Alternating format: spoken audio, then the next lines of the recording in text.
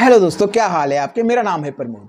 तो दोस्तों, आज मेरे पास से बोट की ओर से मोस्ट अफोर्डेबल ब्लूटूथ हेडफोन और दोस्तों, इसके सीरीज़ की बात करें तो ये बोट की ओर से ना बहुत ही पॉपुलर सीरीज़ है।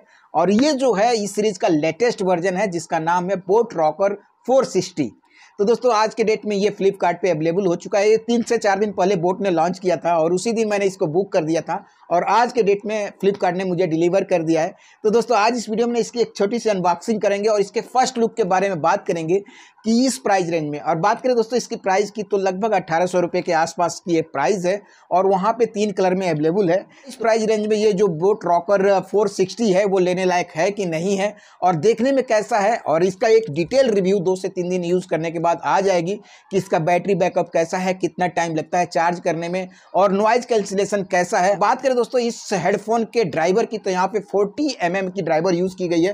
तो उसके अकॉर्डिंग कहा जाए तो आपको अच्छा खासा बेस देखने को मिलना चाहिए। तो चलिए फ़िलहाल आज इसका हम एक फ़र्स्ट लुक देखेंगे और इसकी तो ये फ्लिपकार्ट की ओर से जो बॉक्स डिलीवर किया है काफ़ी बड़ा है आप देख सकते हैं। इसको मैं ओपन कर दे रहा हूँ और पैकिंग कोई खास नहीं है मैं देख सकता हूँ यहाँ पे। खैर तो दोस्तों, ये रहा बोट रॉकर 460 का एक्चुअल बॉक्स और यहाँ पे कुछ हाईलाइट फीचर लिखा गया, आप देख सकते हैं। यहाँ पे जो प्लेबैक टाइम है, इन्होंने कहा है कि 30 आवर का प्लेबैक टाइम देखने को मिलता है, जो कि काफ़ी ज़्यादा है। यूएसबी टाइप सी देखने को मिलती है चार्जिंग के लिए, और ब्लूटूथ की बात करें तो 5.2 ब्लूटूथ देखने को मिलता है।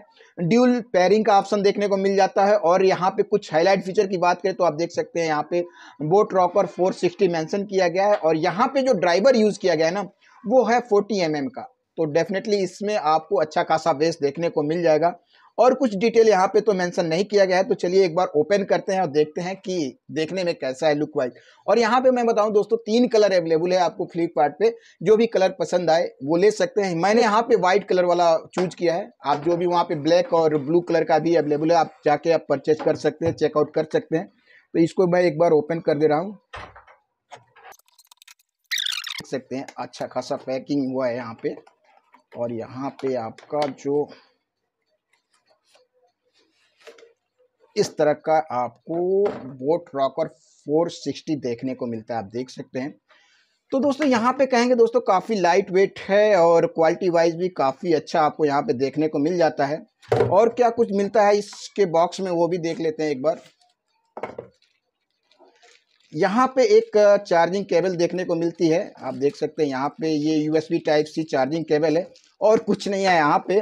बहुत सारे लोगों का कमेंट मैंने देखा था कि उसमें पूछे थे कि 3.5 पॉइंट mm जैक है क्या? तो यहाँ पे किसी तरह का 3.5 पॉइंट mm जैक देखने को नहीं मिलता है। और बात करें दोस्तों पॉट्स एंड बटन की तो सब पर आपको यहाँ पे पावर ऑन ऑफ़ का बटन देखने को मिल जाएगा। वहीं पे बालूम अप और बालूम डाउन ये सारे फीचर देखने को मिल जाएँगे और लुक वाइज काफ़ी अच्छा है और देखने में भी काफ़ी लुक प्यारा लग रहा है, आप देख सकते हैं। और थोड़ा सा एडजस्ट भी कर सकते हैं यहाँ पे, आप देख सकते हैं।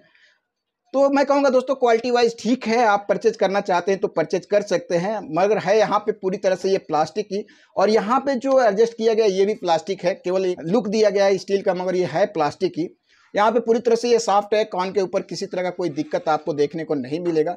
तो दोस्तों, ये रहा फ़र्स्ट लुक इसका डिटेल रिव्यू लेके आऊँगा कि इसका जो बैटरी आउटपुट है वो कैसा है।